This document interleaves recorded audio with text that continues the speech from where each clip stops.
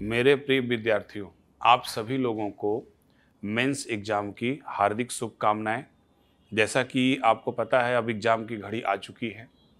तो अब इतने कम समय में जो आप पहले से एक बार पढ़े हुए हैं, आप उसको अच्छे से रिवीजन कर लीजिए। रिवीजन करने के साथ साथ चूँकि ये बहुत महत्वपूर्ण एग्ज़ाम होता है तो आप अपने हेल्थ का भी थोड़ा सा ध्यान रखिएगा और अपने खाने पीने की वस्तुओं का भी थोड़ा सा ध्यान रखिएगा। प्रोटीनियस चीज़ें वगैरह ज़्यादा लेते रहिएगा। जैसा कि आप मेंस एग्ज़ाम देंगे तो उसमें थर्ड पेपर में जो विज्ञान और प्रौद्योगिकी के पोर्शन है तो विज्ञान और प्रौद्योगिकी के पोर्शन में तीन ऐसे महत्वपूर्ण टॉपिक हैं जिनको आप ज़रूर देखिएगा। पहला टॉपिक है आपका जैव प्रौद्योगिकी जैव प्रौद्योगिकी में क्रिस्पर तकनीकी को आप अच्छे से देख लीजिएगा और इस क्रिस्पर तकनीकी से संबंधित आप करंट अफेयर्स को भी देख लीजिएगा। दूसरा टॉपिक है हमारा स्पेस टेक्नोलॉजी।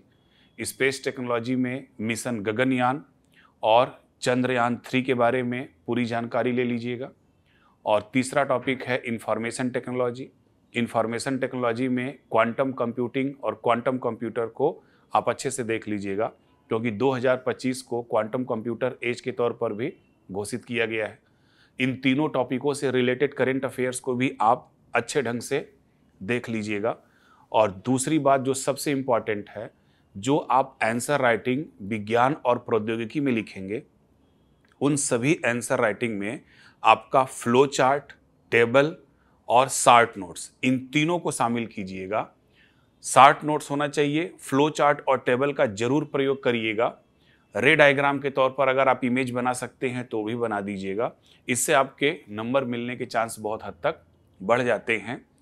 अगेन आपको दोबारा बहुत सारी शुभकामनाएँ। आपका एग्ज़ाम सफलता से बीते। धन्यवाद।